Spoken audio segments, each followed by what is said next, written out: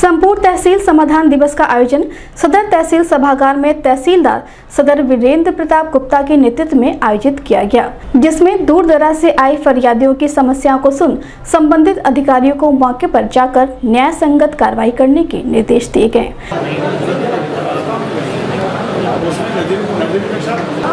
जाएँगे कानून का सुधार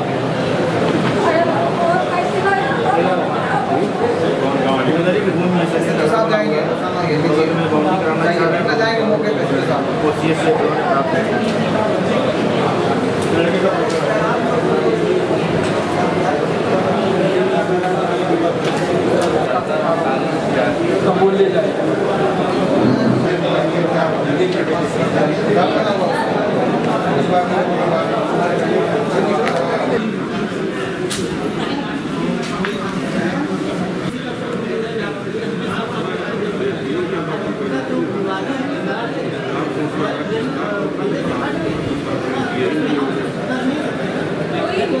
इस संबंध में मीडिया कर्मियों से बात करते हुए तहसीलदार सदर वीरेंद्र प्रताप गुप्ता ने बताया। अभी तक 40 मामले आए हैं जिसमें से पाँच का निस्तारण किया गया है और बाकी प्रॉपर सबको सबकी सुनवाई करके और यही समस्या का निस्तारण करने का प्रयास भी किया जा रहा है।